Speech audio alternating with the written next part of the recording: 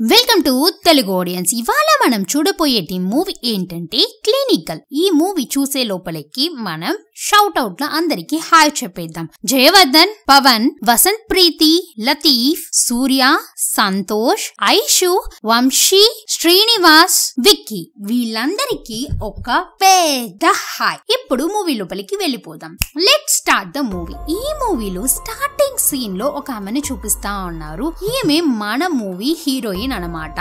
And more over ఈమె ఒక సైక్యోటిక్ doctor అనమాట. సో ఇప్పుడు ఇక్కడ ఏం జరుగుతుందంటే ఆ హాస్పిటల్లో ట్రీట్మెంట్ ఇచ్చే అందరు డాక్టర్స్ వెళ్ళిపోయారు. ఈ మాత్రమే ఓవర్ టైం చేస్తా ఉందన్నమాట. ఈమె అక్కడ వచ్చే పేషెంట్ అందరికి కౌన్సిలింగ్ ఇస్తా ఉంటుంది. సో ఇప్పుడు టైం చాలా లేట్ నైట్ అయిపోయింది. ఏదో శబ్దం వినిపించినట్టు అనిపిస్తా ఉంది ఆమెకి. ఎందుకంటే ఈమెకి ఇలాంటి పేషెంట్కి ట్రీట్మెంట్ చేసి చేసి ఆమెకు కూడా కొంచెం అలానే హెల్త్ ఇష్యూస్ రావడం స్టార్ట్ అయ్యాయి అన్నమాట. సో ఇప్పుడు అదే టైంలో ఎవరా చూస్తే అక్కడ ఒక అమ్మాయి నిలబడుకుంది. ఈ అమ్మాయి ఎవరో కాదండి. మన డాక్టర్ దగ్గర ఆల్రెడీ ట్రీట్మెంట్ తీసుకుంటున్న ఒక అమ్మాయి. ఇప్పుడు ఈ అమ్మాయి ఏం చెప్తా ఉందంటే మీరు మళ్ళీ మళ్ళీ నాకు అన్ని గుర్తు చేసి నన్ను చంపేదానికి ఇలాగా ఇచ్చేస్తున్నారు నేనే చనిపోతాను లేకపోతే మిమ్మల్ని చంపేస్తాను అన్నట్టు చెప్తా అతని చేతిలో ఉన్న ఒక కత్తిని తీసుకొని వచ్చి ఆ మీద కసా కసాని పొడుస్తా ఉందండి. అదే టైంలో ఆమె ఎలానో అమ్మాయిని తోసేస్తా ఉంది. కొద్దిసేపట్లో ఆ పిల్ల కొంచెం పిచ్చిదిలాగా ప్రయత్నం చేస్తా ఇప్పుడు ఏం చేస్తా ఉందంటే ఆ కత్తి పెట్టుకొని ఆ పిల్ల మెడని సగం కోసుకునేటప్పటికి ఎక్కువగా బ్లీడింగ్ అయ్యి అక్కడే పడిపోయి చనిపోతా ఉంది. ఇప్పుడు మూవీ నేమ్ వేస్తున్నారు? క్లినికల్ అని చెప్పనని. ఒక సైకియాటిస్ట్ డాక్టర్ డాక్టర్కే ఒక ప్రాబ్లం వస్తే వాళ్ళు ఎక్కడికి వెళ్తారు ఎక్కడికి వెళ్తారో చూసేద్దామా? ఎక్కడికి వెళ్తుందంటే ఈమెకి ఒక ప్రొఫెసర్ ఉన్నాడనమాట సో ఇప్పుడు ఆయన దగ్గరికి వెళ్తా ఉంది ఆయన దగ్గర మాట్లాడుతా ఉందన్నమాట. ఇప్పుడు ఆయన అన్నిటినీ అడుగుతా ఉన్నాడు. ఇప్పుడు ఈ అమ్మాయి చెప్తా ఉంది నేను చాలా డిస్టర్బ్గా ఫీల్ అవుతున్నాను అలా అంతా మాట్లాడేటప్పటికి ఇప్పుడు ఈయన ఏం చెప్తున్నాడంటే నువ్వు ఇంకా కొంచెం తగ్గించు హాస్పిటల్కి వెళ్ళకు చాలా మందికి ట్రీట్మెంట్ ఇయ్యకు కాంప్లికేటెడ్ అయిన విషయాలన్నింటినీ ఈయనకు నువ్వు చాలా తక్కువైన విషయాలు మాత్రం చూడు అన్నట్టు చెప్తున్నాడు అనమాట సో ఇప్పుడు ఈమె సరే అన్నట్టు చెప్తా ఉంది. ఇప్పుడు ఈమెకు ఒక బాయ్ ఫ్రెండ్ ఉన్నాడంట ఒక పోలీస్ ఆఫీసర్ సో ఇదంతా చెప్పేటప్పటికి ఈయన ఓకే పర్వాలేదు ఆ ఇన్సిడెంట్ తర్వాత నీకు ఒక బాయ్ ఫ్రెండ్ చిక్కాడా? ఓకే అన్నట్టు చెప్తా ఉన్నాడు అనమాట ఇప్పుడు ఈమె వాళ్ళ ఇంట్లోనే చాలా మందికి ట్రీట్మెంట్ ఇస్తా ఉంది చాలా సింపుల్ సింపుల్ అయినవి మాత్రం మాట్లాడుతూ ఉందన్నమాట. మరి ఎక్కువ ప్రాబ్లమ్స్ని ఆమె బుర్రలోకి వేసుకోకుండా. సో ఇప్పుడు ఆమె రోజు ఆ టాబ్లెట్ని వేసుకొని నిద్రపోతుందండి. అప్పుడే ఆమె నిద్రపోగలదు. లేకపోతే ఆమె నిద్రపోలేదు. ఇప్పుడు ఆ రోజు నైట్ ఆమెకి ఒకలాగా డిస్టర్బెన్స్గా అనిపిస్తా ఉంది. ఎవరో ఉన్నట్టు అనిపిస్తా ఉంది.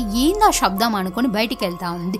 ఫస్ట్ ఒకసారి అనుభవం కదా అందుకని ఇప్పుడు కిందే ఒక రాడ్ అంతా పెట్టుకొని ఉంది. తీసుకొని వెళ్తా ఉంది. ఎవరైనా వస్తే ఇంకంతే చంపేద్దామని. అక్కడ చూస్తే ఎవ్వరు లేరండి. అలానే ఆ అమ్మాయి సరే ఎవరు లేరు కదా లోపలికి వద్దామని చూసేటప్పటికి వెనకాల చూస్తే ఆ అమ్మాయి నిలబడుకోనుంది ఇప్పుడు ఈ పిల్లకాళ్ళకి కనిపించట్లేదు ఐ మీన్ ఈ అమ్మాయి ఎవరు లేరు అన్నట్టు తిరిగి వచ్చేస్తా ఉంది. అదే టైంలో ఇప్పుడు ఏమకి ఒక కాల్ వస్తా ఉంది. ప్లీజ్ మీరు మాత్రమే నాకు హెల్ప్ చేయగలరు. నేను మీ దగ్గరికి ట్రీట్మెంట్కి వస్తాను. ప్లీజ్ ప్లీజ్ అన్నట్టు అడుగుతా ఉండేటప్పటికి ఏం చెప్తా ఉంది.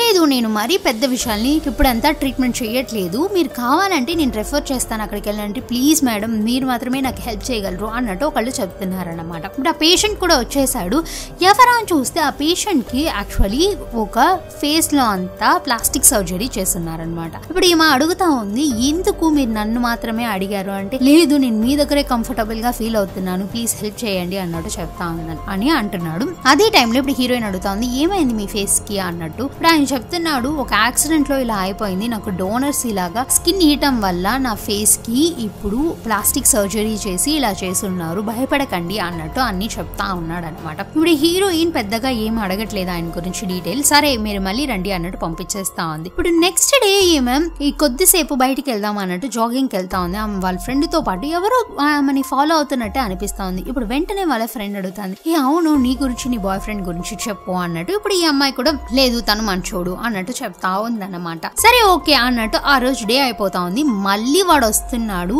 ఇప్పుడు వీడు వీడి గురించి చెప్తా ఉన్నాడు అనమాట యాక్చువల్లీ నాకు ఎలా ఇలా జరిగింది అంటే ఒక యాక్సిడెంట్ వల్లే జరిగింది. ఆ యాక్సిడెంట్ తర్వాతే నేను నా లైఫ్లో అన్ని కోల్పోయాను. నాకు చాలా బాధలు ఉన్నాయి. నేను చాలా డిప్రెషన్లోకి వెళ్ళిపోయాను. నన్ను ఎలాగైనా డిప్రెషన్లో నుంచి తీసుకురండి అన్నట్టు అడుగుతా ఉంటాడు అనమాట సో ఇప్పుడు ఈ అమ్మాయి ఏం చెప్తా ఉందంటే సరే ఓకే నేను హెల్ప్ చేస్తాను. నువ్వు బాధపడకు భయపడకు అన్నట్టు చెప్తా ఉందన్నమాట సో ఇలానే జరిగేటప్పటికి ఒక రోజు చాలా లేట్ అయిపోతా ఉంది. ఇప్పుడు ఆ అమ్మాయి అలానే వాళ్ళ ఇంట్లో ఉందన్నమాట. ఇప్పుడు సడన్గా చూస్తే ఈ అమ్మాయికి అక్కడ చనిపోయిన అమ్మాయి కూర్చోనట్టు ఉంది ఆ చనిపోయిన అమ్మాయి ముందర ఈ హీరోయినే మళ్ళీ పనుకున్నట్టు అనిపిస్తా ఉంది. ఇదంతా ఈ పిల్ల ఇమాజినేషన్. ఇప్పుడు ఈ అమ్మాయి మళ్ళీ ట్రీట్మెంట్కి వెళ్ళి ఉందన్నమాట సో ఈ ట్రీట్మెంట్లోని ఈ అమ్మాయి అలా ఫీల్ అయిపోతా ఉంది. సో అలాగా ఆ అమ్మాయి వచ్చి ఉన్నట్టు. ఇప్పుడు ఈ అమ్మాయి గిల్టీ ఫీలింగ్ ఏంటంటే నేను అమ్మాయిని కాపాడలేకుండా పోయాను. నా దగ్గర ట్రీట్మెంట్ వచ్చినా ఇలా అయిపోయింది అన్నట్టు అనుకుంటా ఉంది. ఇప్పుడు ఇంటికి వెళ్ళిపోతా ఉంది. సో అలా వెళ్ళిపోయి చూసేటప్పటికి శబ్దం వస్తా ఉంది. చూస్తే ఆ పేషెంట్ మళ్ళీ వచ్చి ఉన్నాడు ఇప్పుడు ఈ అమ్మాయి బిత్రపోతా ఉంది. వాళ్ళ బాయ్ ఫ్రెండ్కి కాల్ చేసుకుంటానే వెళ్ళి ఉంటుంది అందుకని వాళ్ళ బాయ్ ఫ్రెండ్ గాడు కూడా అక్కడికి వచ్చేసి ఉంటాడు. ఇప్పుడు వాడిని పట్టుకుని అరెస్ట్ చేసే లోపలికి ఇప్పుడు హీరోయిన్ అంటుంది. ప్లీజ్ ప్లీజ్ వదిలేసేవాడు నా దగ్గరికి ట్రీట్మెంట్ వచ్చిన నా పేషెంటే అన్నట్టు చెప్తా ఉందన్నమాట. ఇప్పుడు ఈయన కూడా సరే ఓకే అన్నట్టు వదిలేస్తున్నాడు. ఇప్పుడు ఆ పేషెంట్ ఏం చెప్తున్నాడంటే నాకే తెలియలేదు. ఎలా నిద్రలో వచ్చానో? సారీ క్షమించండి. అన్నట్టు అనేసరికి సరే ఓకే ఇంక మీట నా దగ్గరికి రాకండి నాకు ట్రీట్మెంట్ చేసే ఓపిక లేదు అన్నట్టు చెప్తా అంది. అదే టైంలో నిద్రపోతా ఉన్నారు రాత్రి.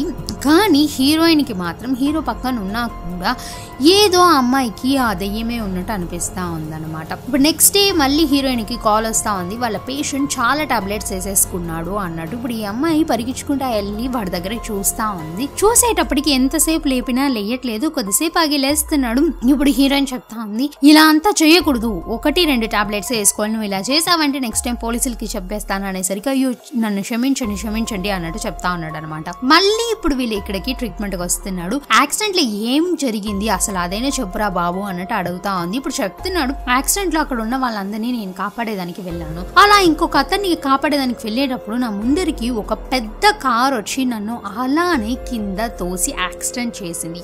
ఆ యాక్సిడెంట్లోని నా మొహంలో ఉన్న ఈ స్కిన్ అంతా మొత్తం పోయింది. అప్పుడు అక్కడికి వచ్చిన పోలీస్ వాళ్ళు నన్ను తీసుకొని వెళ్ళి కాపాడి ఆ డోనర్ లిస్ట్లో చేర్పారు. దాని తర్వాత నాకు ఫేస్కి ఇలాగ సర్జరీ చేశారు అన్నట్టు చెప్తా ఉండేసరికి ఇప్పుడు హీరోయిన్ ఓకే ఓకే టెన్షన్ అవ్వకండి ఇంకా దీని గురించి ఆలోచించకండి అని కౌన్సిలింగ్ అంతా ఇచ్చి పంపిస్తా ఉందన్నమాట. ఇప్పుడు అలానే ఆ అమ్మాయి ఇంట్లో తానేగా ఉండేటప్పటికి మళ్ళీ ఆ అమ్మాయి చనిపోయిన అమ్మాయి వచ్చినట్టు అనిపిస్తా ఉంది. ఈసారి హీరోయిన్ బిత్తరపోతా ఉంది. ఎలాగైనా అమ్మాయిని పట్టేసుకోవాలి అన్నట్టు వెళ్తా ఉంది. కానీ ఆ అమ్మాయి వల్ల కుదరట్లేదు.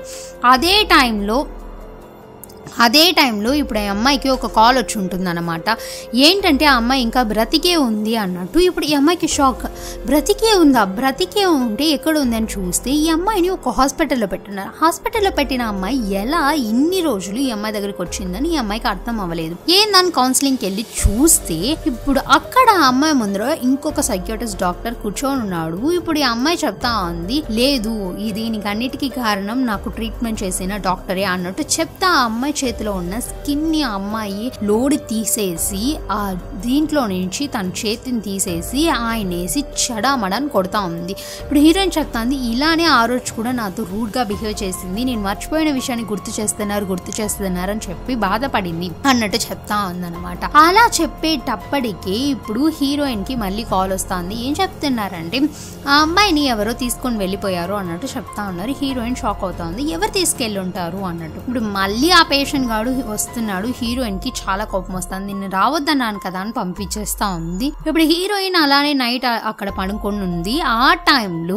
మళ్ళీ ఒక శబ్దం వస్తా ఉంది. ఏందని అమ్మాయికి తెలియదు. లోపలికి వెళ్ళి అన్ని కబోర్డ్స్ని ఓపెన్ చేస్తా ఉంది. అక్కడ చూస్తే ఫుల్గా ఎవరు నడుచుకొని వెళ్ళినట్టు అనిపిస్తా ఉంది. భయపడతా ఉంది హీరోయిన్ ఎవరు ఉన్నారా అని లోపలికి వెళ్ళి చూస్తే ఈ హీరోయిన్ ఉన్న ఫొటోస్ అన్నిటి మీద బ్లడ్ అంతా పూసున్నారు. ఎవరి పనులు చేశారా అనేది హీరోయిన్కి అస్సలు అర్థం అవ్వట్లేదు. మళ్ళీ వాళ్ళ బాయ్ ఫ్రెండ్ని పిలుస్తా ఉంది.